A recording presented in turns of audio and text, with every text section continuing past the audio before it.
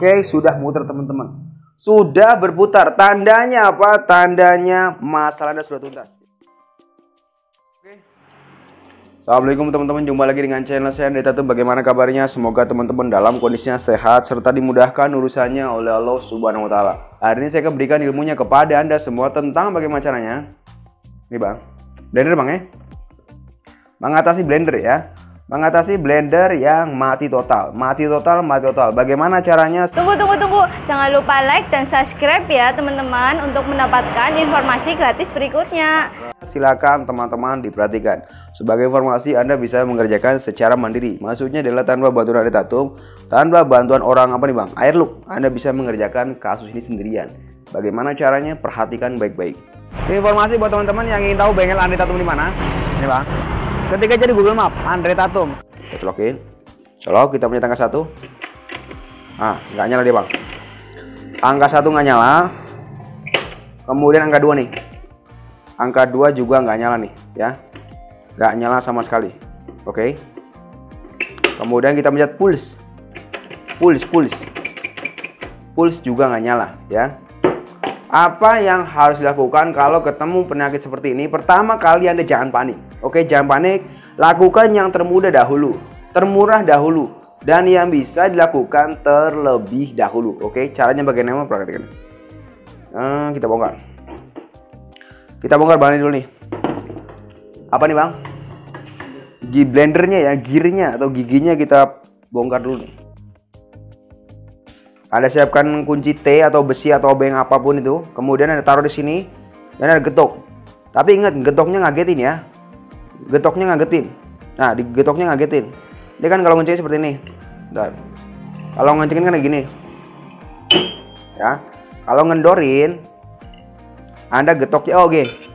Ini, Bang. Muternya harus arah ya. Muternya harus arah. Harus arah jarum jam. Pada saat Anda ngedorin ini harus arah harus arah jarum jam kalau mengendorin nih seperti ini pakai kunci yang besar ya pakai kunci T atau beng min kemudian diketok pakai palu. Dikagetin ya satu dua tiga kagetin. Nah seperti itu dikagetin. Dikagetin seperti ini. Nah oke dia akan lepas Wer, tuh akan lepas intinya searah jarum jam ya pada saat ngebukanya ke kanan searah jarum jam dikagetin oke Selanjutnya kedua ini kita buka di sini.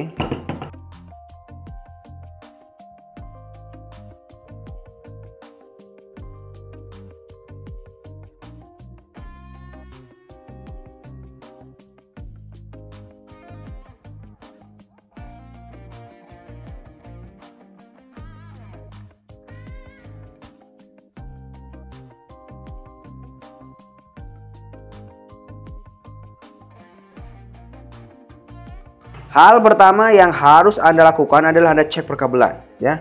Anda cek perkabelan, tidak boleh satupun ada kabel yang putus, oke? Okay? Kabel aman bang ya? Kabel aman tidak boleh putus, oke? Okay? Anda harus pastikan kabel ini dalam kondisi yang aman, dalam kondisi yang tidak putus. Kalau ketemu dengan kabel yang putus, Anda sambung lagi seperti semula. Ini kabel aman, gak ada masalah. Selanjutnya kita cek untuk gulungannya, ya. Cara ngeceknya gulungan gimana? Saya akan ajarkan Anda uh, menggunakan test pen ya, menggunakan test pen. Perhatikan baik-baik nih, ilmu apa Bang? Ilmu unik namanya ya, ya. Ilmu MacGyver ini. Jadi ada eh, nggak uh, punya bukti tester tapi Anda bisa mengecek gulungan. Perhatikan seperti ini. Di sini teman-teman ada dua gulungan ya. Di sini teman-teman ada dua gulungan. Satu gulungan kita anggap gulungan kuning lah ya satu gulungan kuning, maksudnya kuning itu adalah nggak ada ininya nih, nggak ada putih-putihnya nih, ya. Satu gulungan kuning, satu gulungan putih, ya. Gulungan kuning nggak ada putih-putihnya. Ini namanya pius. Tapi kita biar gampang aja, ini gulungan putih, ini gulungan kuning, ya. Gulungan kuning, gulungan putih. Pertama kali kita ukur gulungan apa dulu? Gulungan kuning, ya. Kita ukur gulungan kuning dulu. Cara ngukurnya gampang ini kalau gulungan kuning berarti di pangkalnya nih. Nah nih yang kecolokan ya dari colokan. Ini colokan. Ini colokan nih. Colokan tet diurut ya. Tet tet tet tet tet tet tet tet tet tet seperti ini. Nah, ini ke sini nih. Nah, ini gulungan kuning nih. Kan coklat. coklat langsung ke sini nih, ke pangkal gulungan kuning. Oke. Pangkal gulungan kuning, kemudian hitamnya ini yang ke sini nih, ini ujung dari gulungan kuning. Oke, kita ukur. Cara ukurnya gampang. Ini kita buka dulu. Solasi kita buka. Terima kasih udah share, terima kasih udah simpel. Saya doakan Anda semakin baik ilmu, banyak rezekinya. Buat teman-teman juga yang ingin request ya, maksudnya Mas Andre saya punya kasus ini, kasus itu, kasus an ah, Anda tulis saja. Anda tulis saja di komen ya. Tulis saja di komen nanti kalau ada waktu kita akan uh, bantu ya bang kita akan bantu selesaikan masalah anda ini kita tahu sini kali ya biar teman-teman kelihatan seperti ini data nggak kira-kira nah kayak gini aja dah nah biar teman-teman ngebacanya gampang bang oke semoga teman-teman paham ya kita colokin colok seperti ini kemudian kita cek ini nih yang warna coklat ini nih coklat nih Nah nih, ini nyala ya teman ya. Ini nyala. Kalau misalnya pada saat Anda cek seperti ini, pada saat Anda cek seperti ini nggak nyala, Anda balik. Ini colokannya dibalik. Balik colokannya tet gitu ya. Kalau misalnya pada saat Anda colokin nggak nyala, Anda tinggal balik colokannya ya. Anda tinggal balik colokan colokannya Bang ya. Nah, seperti ini. Ini kan nyala nih. Ini nyala Bang ya. Nah, ini nyala teman ya. Nyala seperti ini. Kemudian berarti menandakan bahwa e, kabel coklat ini aman. Sekarang ini adalah pangkal atau bang. Ini adalah pangkal dari gulungan. Aman. Ini adalah pangkal dari gulungan kuning ini. Gulungan kuning ya kita namanya bang ya. Ini kan gulungan kuning. Ini pangkalnya ini nih. Nah, pangkalnya nyambung. Eh, pangkalnya nyala. Oke. Okay?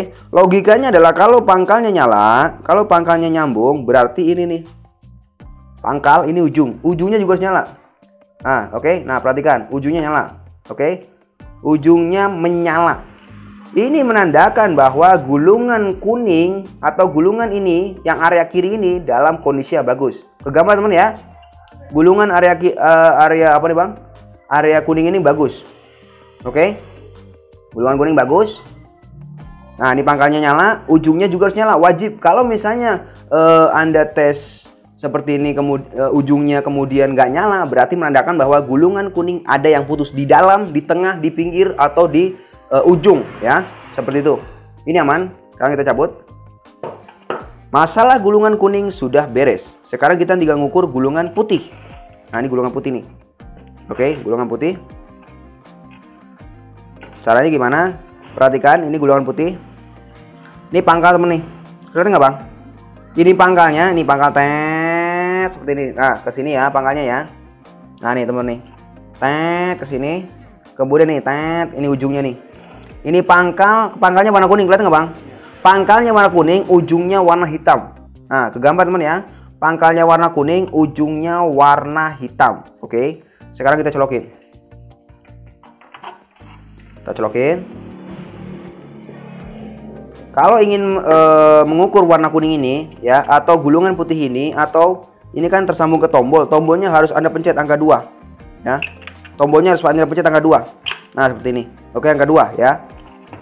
Sekarang kita bentar ini saya solasi dulu dah.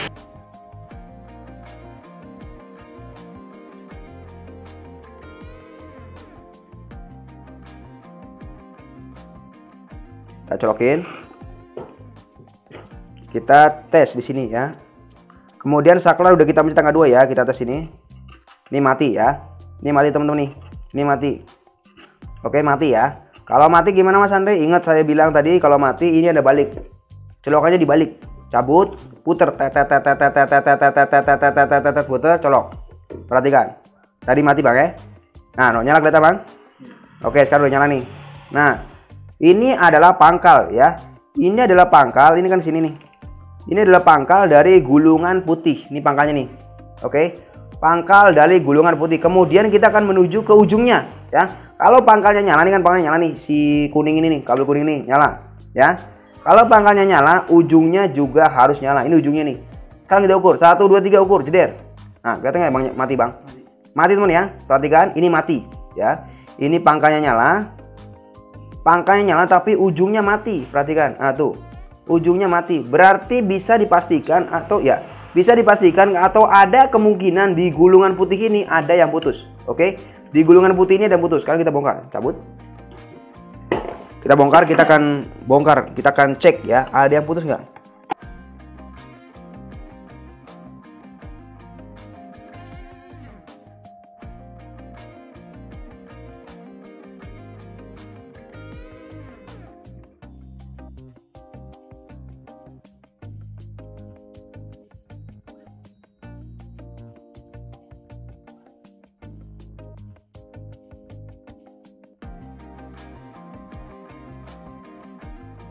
Dari sini aja langsung kelihatan bang. Ini teman kelihatan nih. Ah tuh. Ada kabel yang somplak, ada kabel yang putus. Sekarang tugas kita apa? Kita sambung kabel ini. Kita sambung kabel ini. Kita buka dulu isolasinya bang.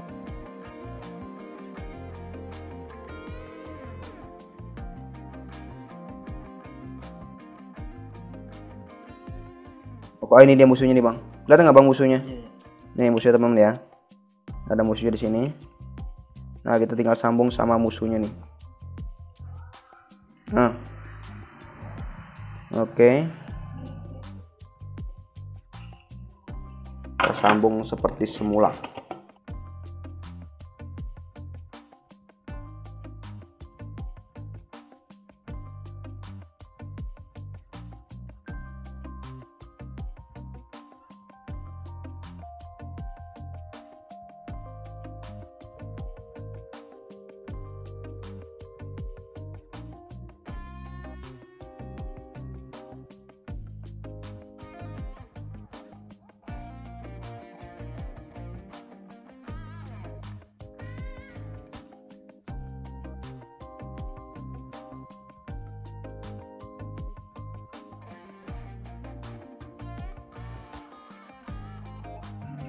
Sekarang kita pasang lagi seperti semula.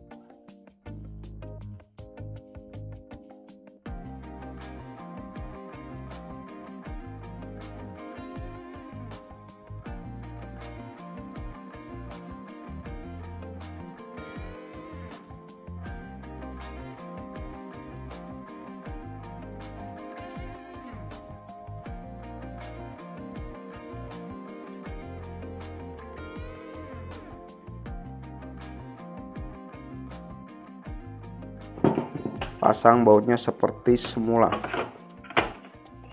Pasang tutupnya seperti ini.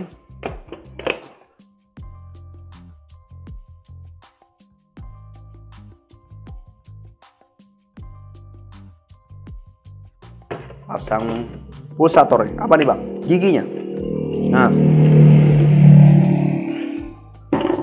Selanjutnya kita colokin. Colokin. Kita pencetakan satu.